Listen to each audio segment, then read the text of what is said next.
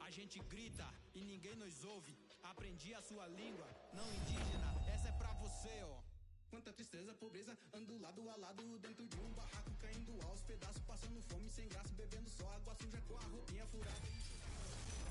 Baixo de palco, mantendo a gente isolado. Tipona,